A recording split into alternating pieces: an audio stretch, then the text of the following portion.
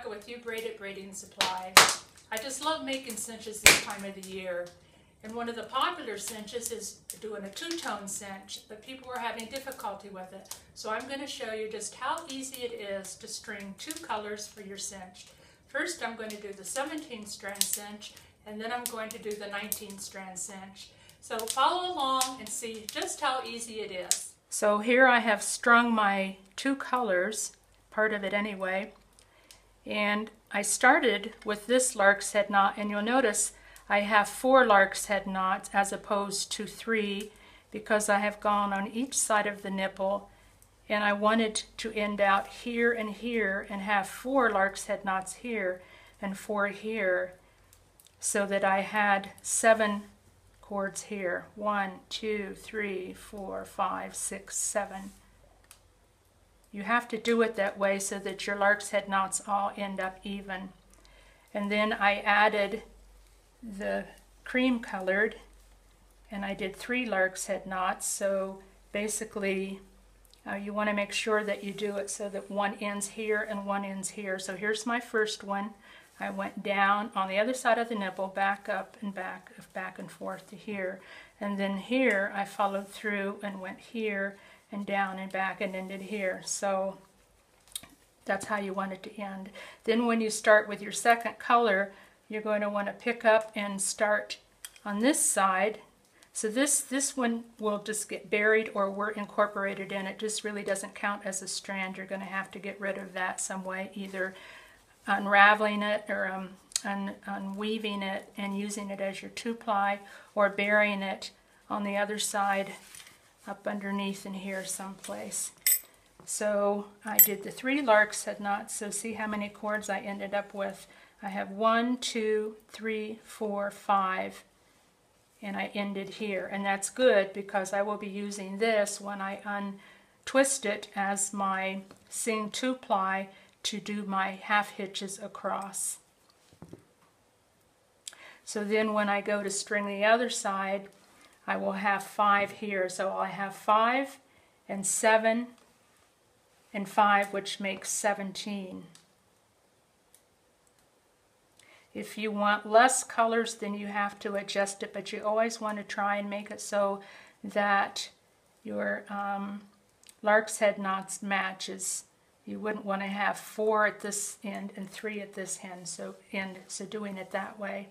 So I'm going to stop and I'm going to go ahead and string the other one and show you then how the 19 strand just um, is pretty much the same. So here is the finished cinch strung. Let me just point out that while it is a 17 strand, I have one, two, three, four, five, seven here, one, two, three, four, five, six, seven, and five here, one, two, three, four, five for 17. Instead of having nine lark's head knots like in the video, you have 10. And that's because these basically are just, um, these aren't part of the whole cinch. These are the parts that will be um, worked in by using it as a two-ply or buried. So the important point is, is that you want to always have opposite ends. These will be the main working cords that you're going to do your half hitch across with. You're going to untwist it and half hitch across with all four one at a time, just as in the video, and incorporate these into using them as part of your two-ply. But if you are not going to and you want to bring it down and cover it all the way because once you start to do a two-ply design, you can get that totally covered enough that it will be secure, but you want to make sure that you're going to untwist it because it's going to lay nice and firm around that 8 ply as opposed to taking this and leaving it like that and trying to wrap your 2 ply. It just works better if you undo it like that. And then when you're doing your two ply across that can get incorporated in. So again notice there's an end here and then in here you're here and here and here and here. And it needs to be that arranged that way to make it easier to work with. So again, there are 10 lark's head knots at each end. I've got four of the colors and three and three and three and three of the natural. So this is the 17 strand. Now I'm going to show you the 19 strand cinch, how to string it.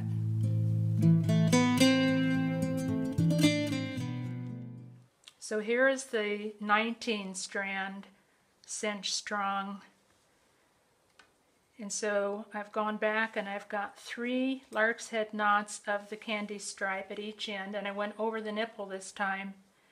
And so there's only one, two, three, four, five of those and one, two, three, four, five, six, seven of these and seven of these, which makes a 19 strand.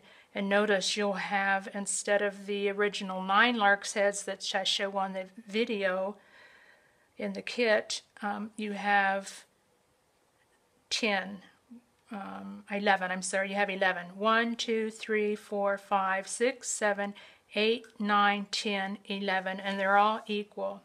Now really, if you wanted this to be wider, more in the middle, and you wanted to keep the three lark's head knots, you could bring this end down and run it up through your lark's head knot and around the back and bring it up and then work off that and then eliminate one of these which would make this a little bit wider. It would give you the one, two, three, four, five, six, seven and eliminate one on each side which would um, still give you the 19 strand, but it would make this wider in the middle.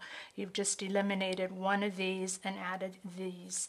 But you want to make sure that your lark's head knots, you know, you wouldn't want to go back up here and have four here and four here. You want it all to be equal looking.